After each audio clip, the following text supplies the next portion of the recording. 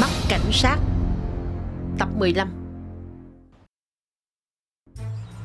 Tiểu Triệu, cẩn thận. Được rồi. Lúc đó tôi đi theo hướng này, Hướng về phía của ngọn núi. Được rồi, lúc đó khoảng mấy giờ? Sếp Bạch Đây chính là hiện trường vụ án. Ở đây. Anh ấy cho biết tình hình thế nào. Khi chúng tôi đến hiện trường không tìm thấy được kẻ tình nghi nào.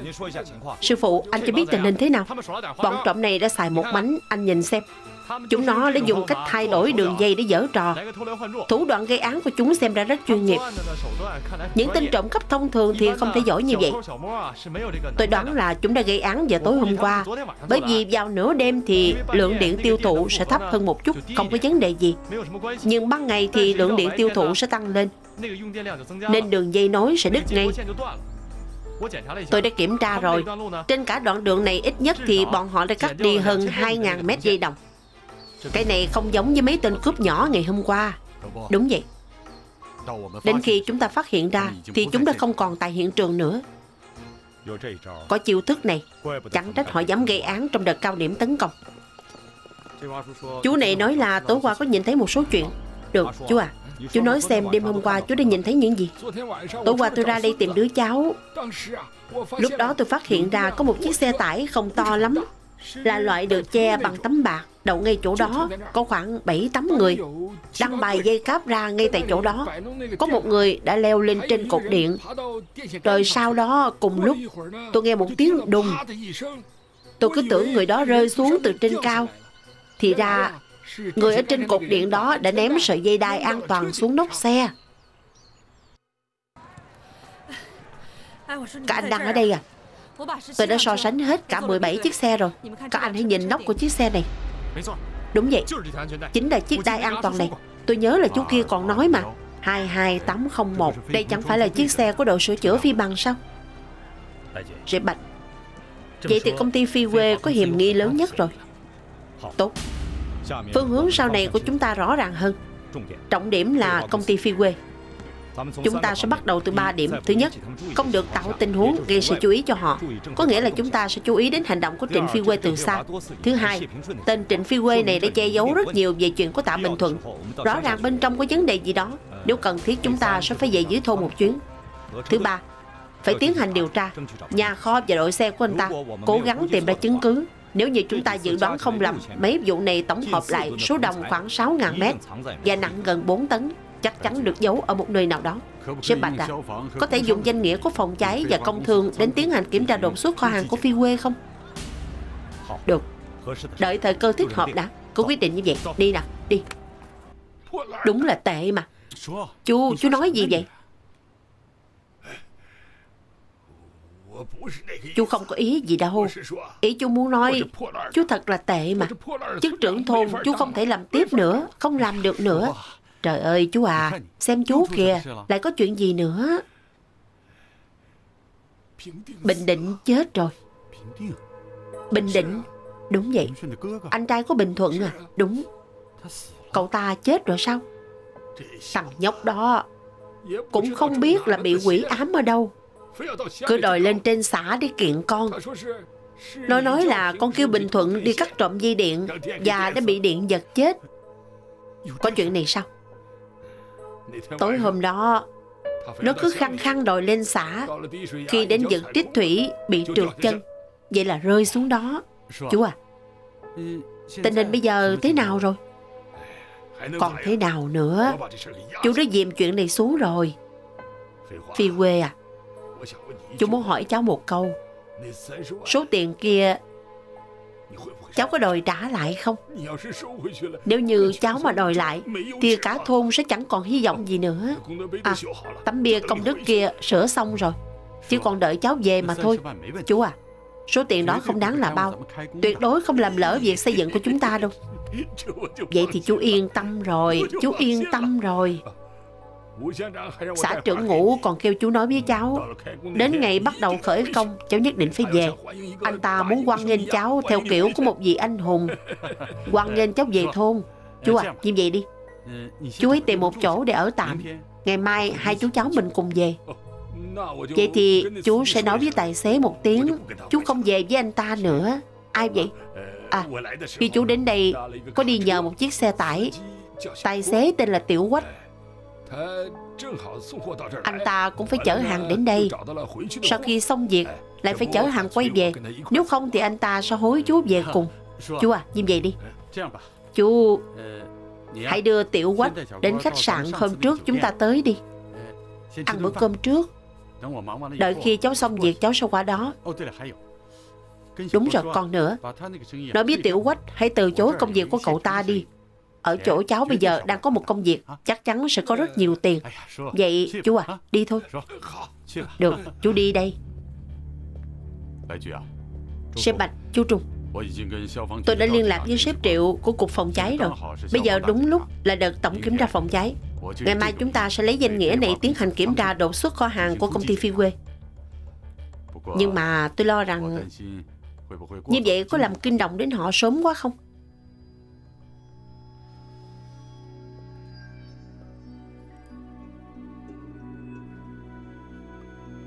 Chú Trung Cứ làm theo những gì chú đã nói。Nếu như điều tra ra được Thì chúng ta sẽ đạt được mục đích。Nếu như không điều tra được Thì xem như chúng ta đưa tin hù dọa bọn chúng Ép số hàng kia lộ ra ngoài。Được。Sếp Bạch, Cầu Phi Phía kho hàng có động tĩnh gì không? Không có。Chiếc xe tải kia vẫn đậu ở đó。Ban ngày có rất nhiều xe nhỏ đi ra đi vào。Buổi tối thì rất yên ắng。Tôi nghĩ đợt hàng ấy chắc chắn vẫn còn theo như tình hình chúng ta nắm được hiện nay, nếu như việc trộm cắp dây điện của công ty Phi Quê là thật, thì chắc chắn tăng vật sẽ không được bán ngay tại chỗ. Bọn họ chắc chắn có con đường tiêu thụ riêng. Nhưng mà chúng ta phán đoán sai lầm. Số dây cáp ấy vốn dĩ không nằm trong kho. Vậy thì phải nghĩ cách nào đó để tìm ra chúng.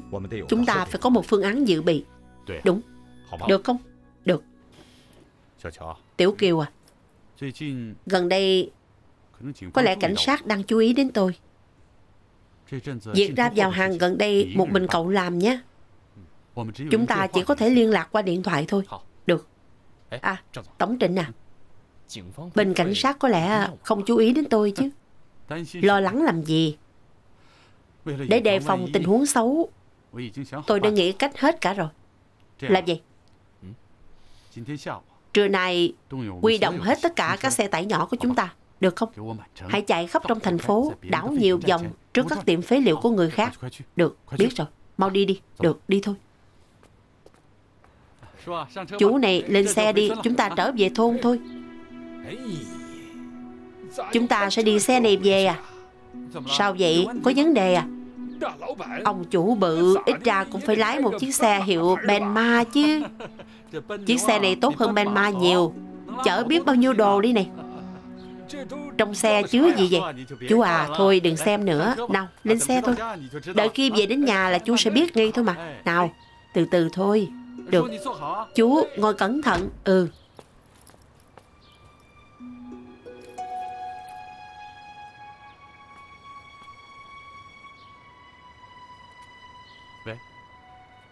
Tiểu Kiều à Các cậu có thể hành động rồi. Đúng. Cứ chạy theo sau lưng chúng tôi được rồi, được rồi. Liên lạc sao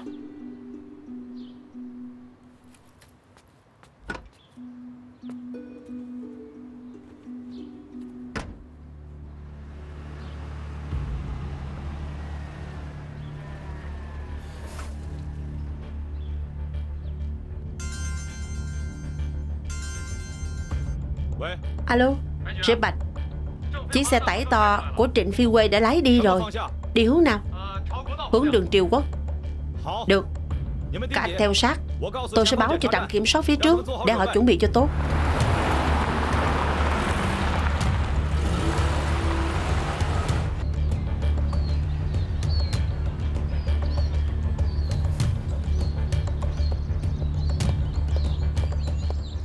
Sếp à Có chuyện gì vậy? Xin xuất trình giấy phép lái xe và giấy phép thông hành của anh. Bằng lái xe, giấy thông hành. Trên xe chở những gì? Không có gì. Tắt máy đi.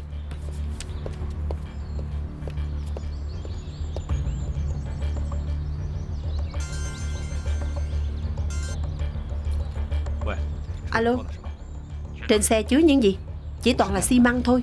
Không phải dây điện. Sếp Bạch. Thả họ đi nha. Đợi đã. Giữ chân họ lại. Đừng gác máy. Làm sao đi Sếp Bạch, sếp Bạch Tôi vừa kiểm tra kho hàng của công ty Phi Quê Không phát hiện được gì. Được, chú Trung, tôi biết rồi.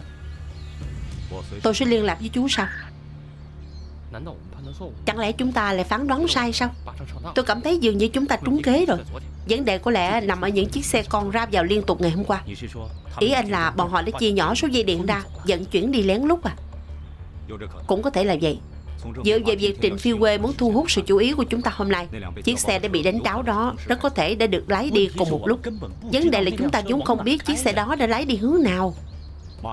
Lập tức báo trong cục tìm cách kêu họ nắm bắt rõ động tĩnh của Trịnh Phi Quê. Đồng thời xin trợ giúp của sở tỉnh Xác định vị trí của xe. Được. Nhưng chúng ta cần có thời gian. Sếp Bạch, Sợ rằng khi tìm được vị trí của chiếc xe đó Thì hàng đã bị lấy đi từ lâu rồi. Cho nên phải nghĩ cách giữ chân bọn họ, Để bọn họ không dám hành động. Alo, Tiểu Lục. Anh nghe tôi nói, Giữ chân bọn họ một lúc rồi hẳn cho đi. Dạ được, Hiểu rồi.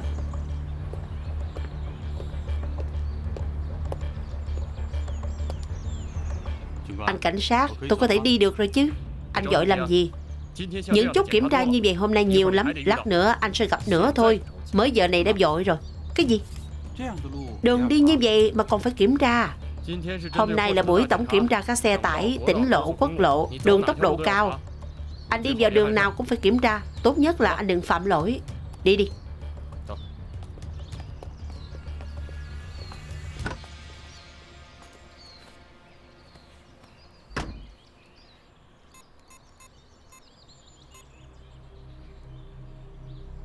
Alo, Tiểu Kiều à? Cậu đến đâu rồi? Không gặp phải chuyện gì chứ? Như vậy đi. Cậu hãy nói với Tiểu Quách. Mau lái xe quay lại ngay lập tức. Trời ơi Cậu cứ bịa ra một lý do nào đó đi. Đúng rồi. Cậu cứ lái đến bãi đậu xe trước giờ của chúng ta ấy. Giữ liên lạc nha. Lại lái trở về à? Dạ Linh kiện bị hư rồi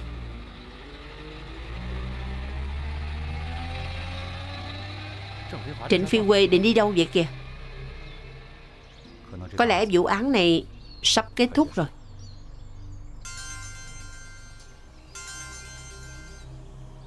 Alo, sếp Bạch là tôi đây. Tôi nhận được từ thôn Hạ Cố của Trịnh Phi Quê một thông tin như vậy. Nói là ngày mai Trịnh Phi Quê sẽ tham gia một nghi thức khởi công xây dựng đường mòn trong thôn. Có lẽ hôm nay anh ta sẽ phải đi. Vậy à, đúng vậy. An Khiết. Bên tổ chuyên án thành phố, tôi trông cậy vào cô và chú Trung. Lát nữa tôi sẽ gọi điện cho sếp Mã. Chúng ta phải duy trì liên lạc thường xuyên, được không? Các anh định đi đâu? Chúng tôi sẽ vào trong thôn, tìm hiểu kỹ hơn.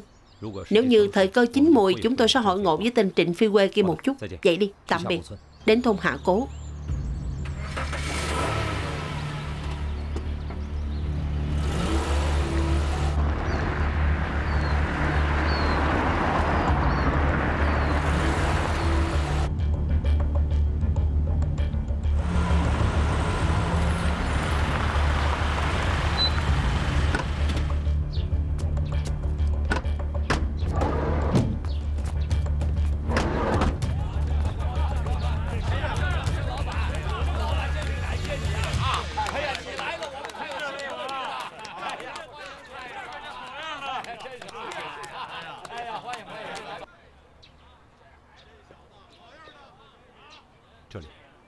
Ở đây chỉ có Trịnh Phi Quê và gia đình thím tạ để gặp tôi Cho nên chúng ta phải nói là chúng ta là cán bộ từ Trinh Quyện Hai anh là ký giả.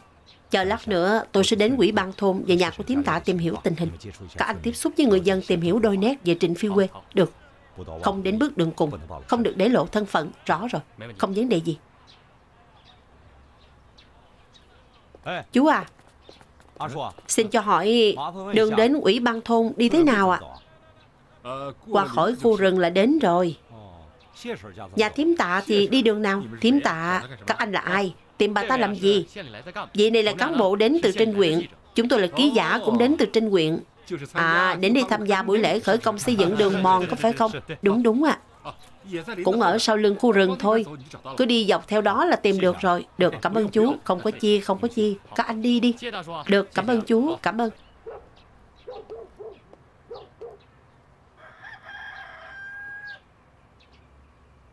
Tím tạ có nhà không? Tím tạ là bà nội của con. Chú là ai vậy? Vậy nội cháu có ở nhà không? Nội cháu đi hái rau với mẹ rồi. Vậy ba cháu là Tạ Bình Định có phải không? Ba con không còn ở đây nữa. Ba và chú Bình Thuận của con đã lên núi sống trong đống bùn đất rồi. Sống trong bùn đất ở trên núi. Bùn đất gì? Chú ơi, cháu đã không gặp ba cháu từ rất lâu rồi. Cháu không gặp ba cháu từ lâu rồi? Dạ.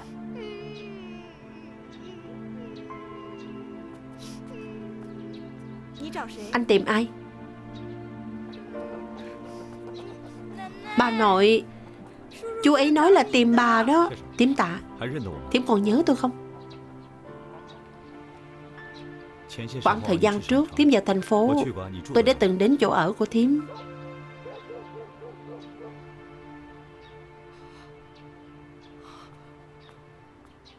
Anh Anh là Bạch. Đúng, Tôi họ Bạch. Mau qua đi. Đây là đồng chí công an. Công an, Đồng chí công an. Anh đến thật rồi. Anh có biết không? Chúng tôi vẫn đang đợi anh. Nào nào, Đứng dậy Đứng dậy. Từ từ nói, Từ từ nói. Đồng chí công an, Mau vào trong nhà nói chuyện đi. Mau mau, Vào trong nhà. Nào, đêm đêm Mau vào nhà đi. Mời anh ngồi. Được, Mời ngồi. Chú à, chú không được uống sai chết đâu đó.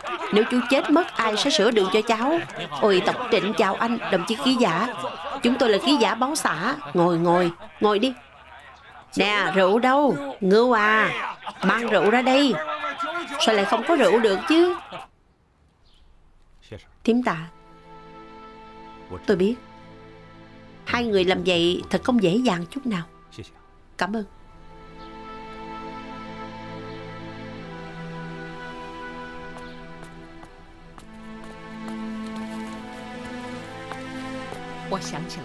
Tôi nhớ ra rồi, sếp ạ.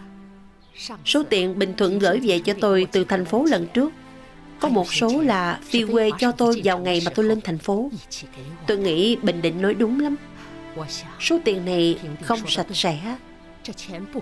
Hay là nộp cho lãnh đạo vậy? Tím tạ, Việc này tôi sẽ xin ý kiến của lãnh đạo. Tôi nghĩ sẽ còn những cách khác. Việc phạm pháp thì chính là việc phạm pháp. Không có gì phải đáng nói cả. Sư Bạch, Chúng tôi tuy là người nhà quê, Nhưng cũng không phải là người không biết lý lẽ. Chúng tôi chỉ hy vọng nhà nước có thể làm chủ giúp chúng tôi, Có thể bắt giữ kẻ đã hại chết Bình Định và Bình Thuận. Như vậy thì tôi yên tâm rồi. Hai anh em họ Ở dưới đất cũng sẽ yên nghỉ thôi.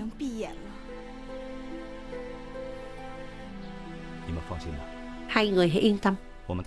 Chúng tôi vượt đường xa đến đây Sẽ không rời khỏi đây dễ dàng đâu. Hai người hãy tin tôi. Việc này sẽ có kết quả nhanh thôi. Sếp à Phi quê sửa đường Không phải là một việc tốt hay sao? Bà con trong thôn đều khen ngợi anh ta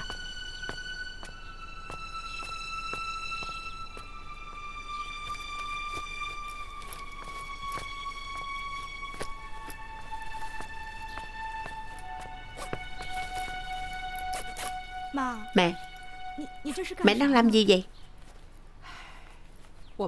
Chúng ta chỉ toàn đàn bà yếu đuối Tiếp tục sống tại đây khó lắm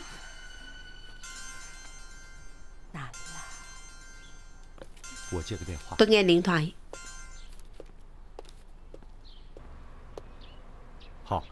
Được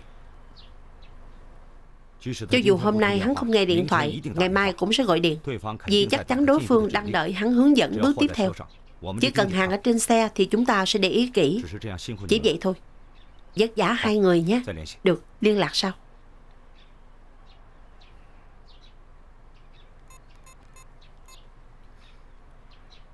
Alo Bên các anh thế nào rồi? Tan rồi à? Cừu Phi Như vậy đi. Anh hãy nói nhỏ với trưởng thôn. Tôi hẹn ông ta tại quỹ ban thôn. Bàn bạc chuyện phát triển nghề phụ Đúng. Theo sát Trịnh Phi Quê đó. Đừng làm hắn ta chú ý. Được không? Tôi là cảnh sát đến từ trên tỉnh. Anh là người của đồn công an à? Tôi muốn báo tin cho ông biết trước. Theo như những gì chúng tôi được biết Trịnh Phi Quê là kẻ bị tình nghi phạm tội quan trọng. Lần này đến đây là để điều tra anh ta. Không thể được, không thể được Chúng tôi vừa mới uống rượu với nhau kia mà. Phi Quê vừa quyên góp cho thôn chúng tôi 300 ngàn. Trưởng thôn Ông là đảng viên lâu năm rồi. Xin ông hãy tin cảnh sát chúng tôi. Có hai việc chúng tôi muốn xin ông hợp tác. Thứ nhất Chúng tôi nhận được tố cáo Nói là hai anh em Tạ Bình Định, Tạ Bình Thuận Sống trong thôn đều chết hết. Cái chết của họ có liên quan tới Trịnh Phi Quê. Xin ông hãy cung cấp một vài thông tin giúp đỡ chúng tôi. Để mau chóng tìm ra chân tướng Thứ hai Chúng tôi biết là Lần này người dân trong thôn có hy vọng rất lớn trong việc quyên tiền sửa đường của Trịnh Phi Quê. Nếu như phía cảnh sát tiến hành điều tra với Trịnh Phi Quê, thì hy vọng trưởng thôn sẽ làm tốt công việc với người dân trong thôn. Được. Bây giờ chúng ta hãy nói về vụ việc hai anh em nhà họ tạ. Xin lỗi.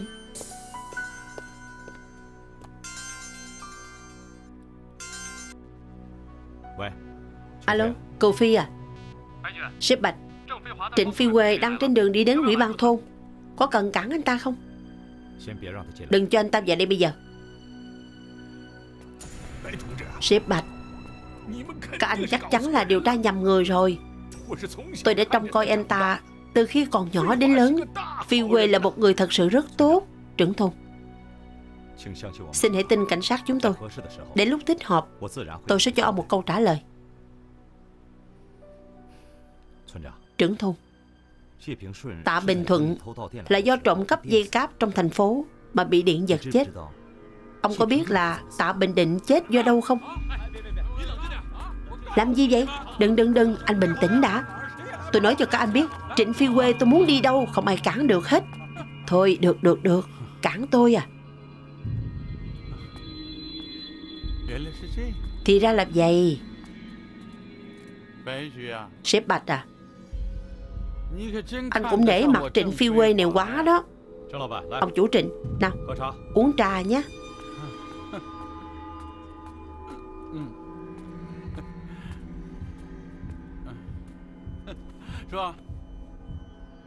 Chú Chú bị sao vậy? Nè, Chú nói gì đi chứ?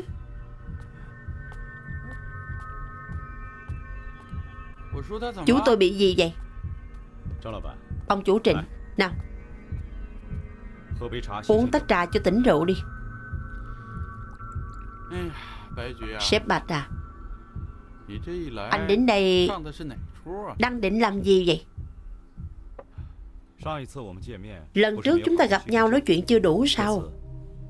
Lần này chúng ta ngồi với nhau một lát đi Đừng giở trò này với tôi nữa.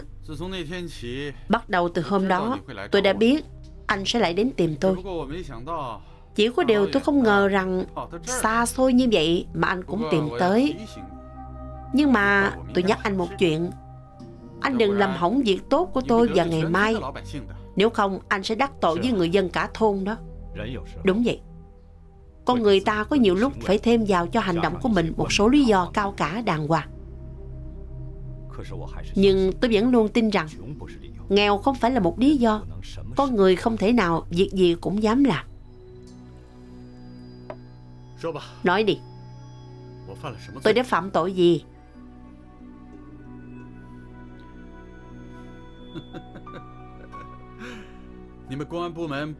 Ngành công an các anh không phải chỉ là cần chứng cứ sao? Anh không thể nào xác định tội trạng của tôi bằng việc tưởng tượng ra chứ. Anh cũng biết là dù gì thì tôi cũng là một người có danh tiếng, tôi có danh dự của tôi. Không cần nôn nóng, nghe điện thoại đã.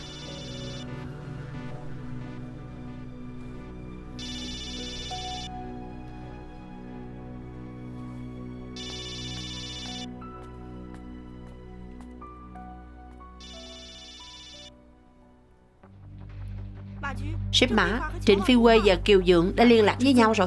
Mau theo dõi ngay, rõ.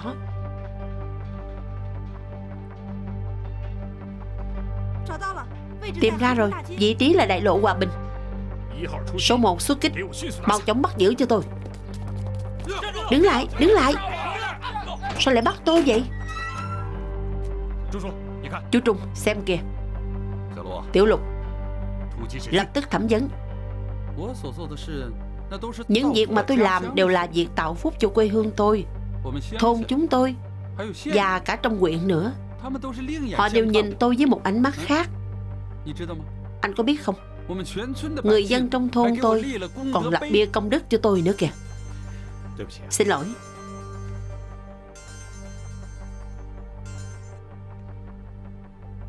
Alo. Sếp Bạch đã bắt được Kiều Dượng rồi。Tăng vật cũng đã thu lại toàn bộ。à, Tôi đã thẩm vấn Kiều Dượng một lúc Hắn đã khai cả rồi。Trịnh Phi Quê chính là đầu sỏ của tập đoàn trộm cắp bọn chúng。Sếp Bạch。Bây giờ có thể bắt giữ hắn được rồi。Bây giờ hắn đang ở đâu？Hắn đang ở bên cạnh tôi đây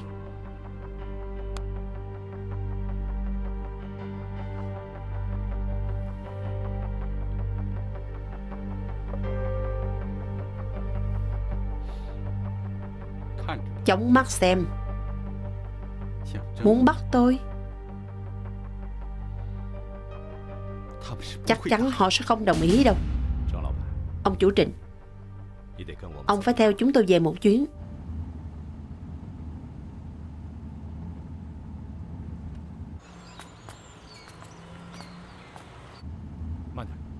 Chậm lại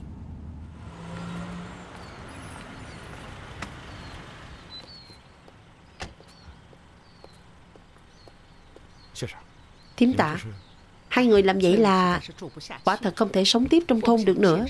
Chúng tôi định vào huyện thành Ở nhờ người thân. Có lẽ Nào, lên xe của tôi. Tôi đưa hai người đến huyện thành. Cảm ơn.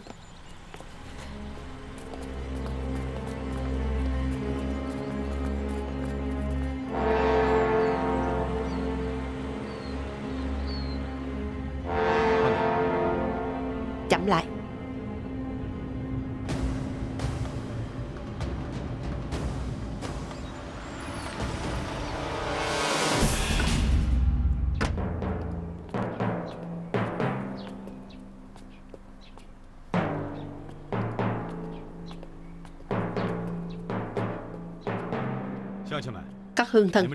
Mọi người có việc gì? Anh không được bắt ông chủ trịnh đi. Đúng. Không được bắt ông chủ trịnh đi. Tại sao? Bởi vì anh ta là đại ân nhân của chúng tôi. Anh ta là tấm gương lao động. Anh ta còn là hội trưởng hội từ thiện của chúng tôi. Anh ta là người tốt là nhà từ thiện. Tôi nói cho mọi người biết. Trịnh Phi Quê không phải là nhà từ thiện. Anh ta là kẻ tình nghi phạm tội Mà chúng tôi cần bắt giữ. Anh ta không có tội. Các anh thả người ra Thả người Các vị hương thân Chúng tôi đang làm công vụ Và theo đúng trình tự pháp luật hợp lý. Xin mọi người hãy tin tưởng cảnh sát chúng tôi. Không được, mau thả người ra. Các người đang cản trở người thi hành công vụ có biết không? Phải chịu trách nhiệm trước pháp luật đó. Muốn làm gì, làm đi. Cất vào mau. Sếp Bạch, cất vào mau. Mọi người đừng la nữa. Mọi người đừng kích động như vậy. Lãnh đạo Chúng tôi không phải muốn đến gây rối. Hôm nay nhân dân của xã Hợp Khê thôn Hạ Cố, Đều đến để bảo lãnh ông chủ trịnh. Ông chủ trịnh Đích thực là một đại ân nhân của chúng tôi. Không có ông chủ trịnh, Sẽ không có con đường nhựa dưới chân chúng ta. Không có con đường nhựa này, Sẽ không còn hy vọng giàu lên của thôn Hạ Cố chúng tôi vì muốn ghi nhớ công đức của ông chủ trịnh, Người dân trong thôn chúng tôi đã lập tấm bia này cho anh ta. Lật ra.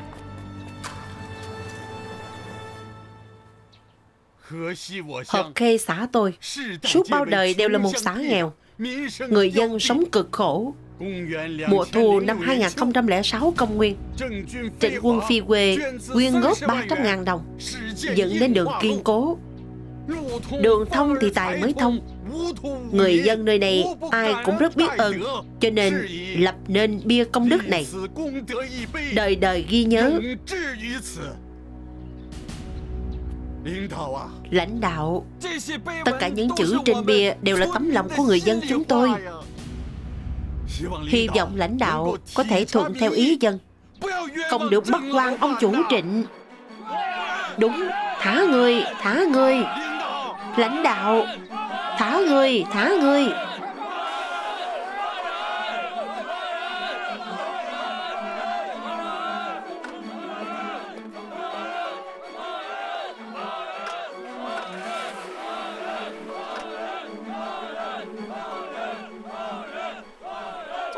Đi. Mau quay trở lại thôn. Sếp Bạch, Chúng ta không thể quay về được. Sếp Bạch, Quay về. Ngồi yên Thả người Thả người. Thả người, Đi. Thả người. Đi Đi, Vào trong, Đi. Không được bắt người lung tung. Vào trong.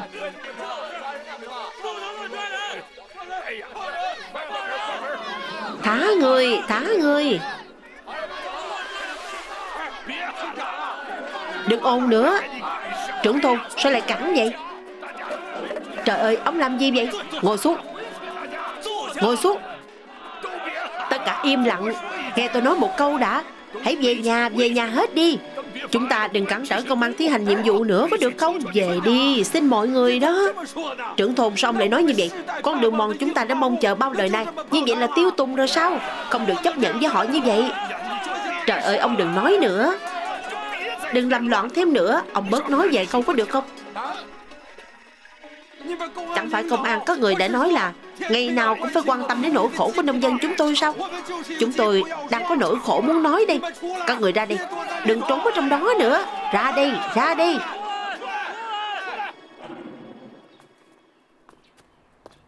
Các vị hương thân Có chuyện gì chúng ta vào trong rồi nói chuyện nhé Nỗi khổ của người dân hạ cố Chúng tôi không muốn nói đến Nhưng vì chuyện này Chúng tôi đã mất đi biết bao mạng sống rồi。Việc này tôi phải nói cho anh biết。Ông nội Đức Thắng bị sưng phổi。Cháu ông ta vào trong huyện thành để mua thuốc cho ông ta Chỉ thiếu nửa bước thôi。Ông nội Đức Thắng đã bị đàm trong cổ Làm nghẹn chết rồi。Tiểu mau căng bị rắn độc cắn bị thương chỉ vừa đưa ra khỏi nửa đường núi Thì toàn thân bị nhiễm độc, Chết ngay giữa đường.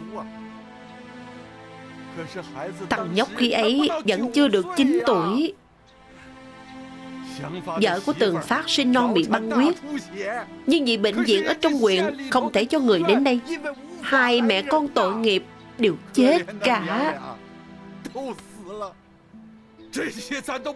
những cái này chúng ta cũng không nhắc nữa. Anh có biết tất cả những thứ này là tại sao không? Con đường. Thôn Hạ Cố chúng tôi không có một con đường nào có thể đi ra ngoài.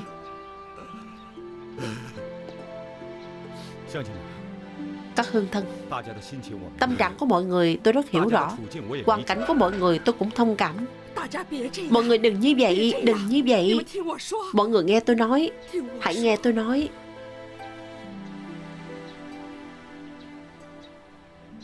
Sếp Bạch.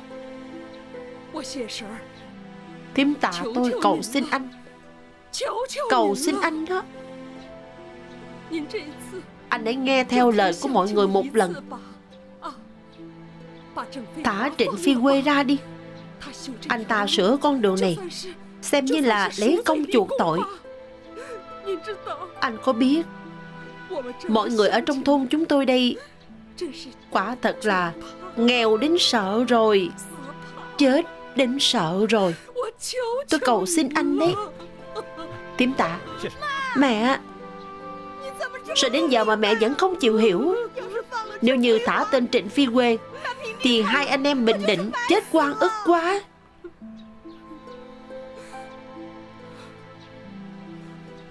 Các vị hương thân, Tôi biết rằng Khi đứng trước mặt các vị Tôi không nói ra được một đạo lý lớn lao nào cả. Nhưng mà Tôi vẫn phải nói cho mọi người biết một việc. Một việc mà mọi người không ai biết.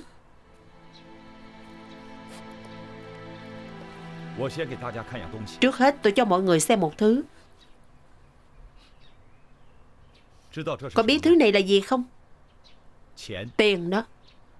4.761 đồng Số tiền này từ đâu mà ra? Tôi có thể nói một cách rõ ràng cho mọi người biết.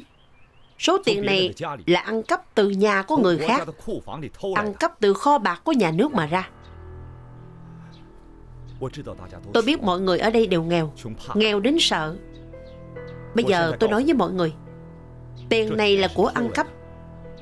Nhưng nếu có người nào cần Có thể đến lấy Tôi lấy danh dự của một người cảnh sát ra đảm bảo Sẽ không truy cứu. Có ai cần không? Nào. Đã bảo là tiền do ăn cắp mà ra, Còn ai dám lấy? Cảm ơn mọi người. Điều này chứng tỏ trong lòng mọi người đều có một cán cân. Tôi xin cúi đầu trước mọi người.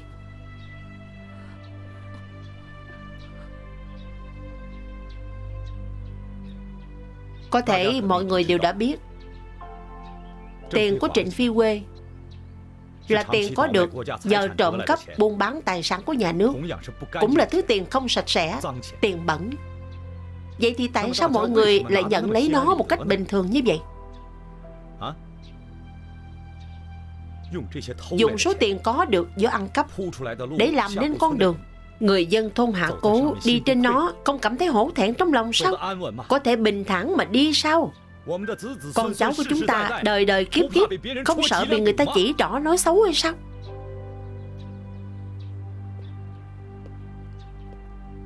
Con người Không thể chỉ vì bản thân mà bất chấp tất cả. Mọi người hãy nhìn thím tạ đi. Thím ấy có tiền không? Thậm chí tiền chôn cất hai người con trai Cũng không thể có được. Hai ngày sau thì nhà của họ sẽ không còn cái ăn nữa. Nhưng chính thím ấy Đã không lấy số tiền Có thể giúp cho thím có cuộc sống tốt đẹp hơn. Tại sao vậy? Bởi vì thím biết rằng Tiền này Là tiền do Trịnh Phi Quê Trộm cắp tài sản quốc gia Là tiền bẩn Thím ấy không được dùng.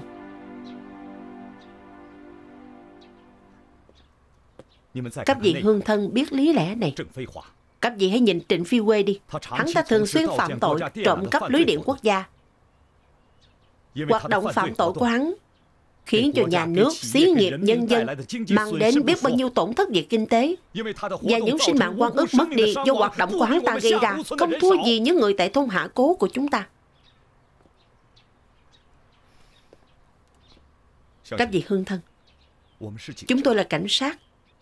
Chúng tôi gặp rất nhiều tội phạm, gặp nhiều chuyện bất nghĩa. Nhưng chúng tôi vẫn luôn tin rằng trong lòng mỗi người đều có một cán cân và cán cân ấy chính là lương tri của mỗi con người chúng ta. Khi làm sai việc gì, cho dù người đó có lý lẽ cứng rắn thế nào, đến khi đêm về vắng vẻ chắc chắn sẽ có một thứ đến dày dò họ. Và thứ ấy chính là lương tri. Anh cảnh sát, anh nói rất đúng. Tôi cũng là vì đã làm việc xấu, Nên mỗi tối tôi không thể chợp mắt được.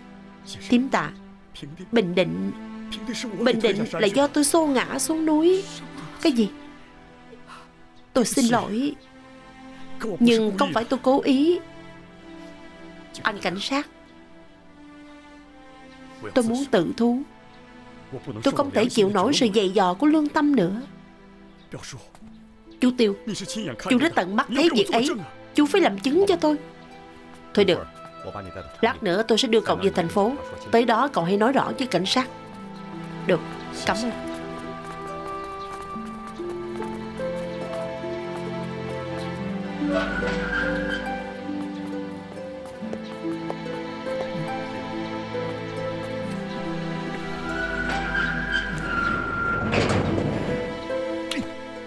Khốn nạn, khốn nạn, thật khốn nạn. Trịnh Phi Quê. Anh hại tôi thê thảm rồi.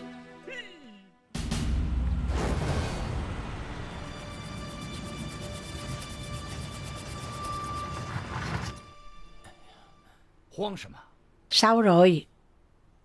Tắt máy rồi. Đẩy xe thôi.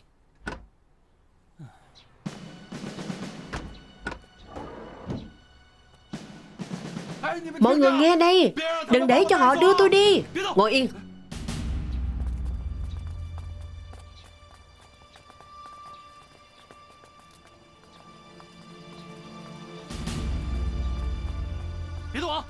Ngồi yên. Mau ẩm con bé lên.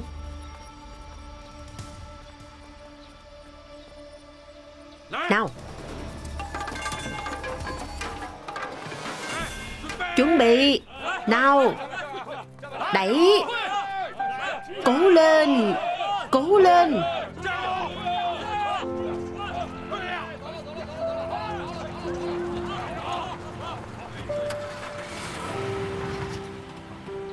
Chú Tiêu, Cảm ơn. Các anh đi đi. Chúng tôi đã gây thêm phiền phức cho các anh rồi. Tím tạ. Tím không đi nữa à?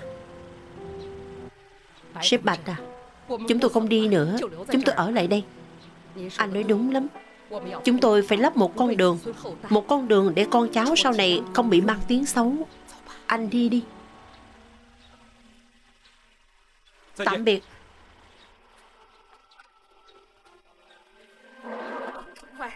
Mau tạm biệt chú đi con. Tạm biệt. Tạm biệt Tạm biệt Tạm biệt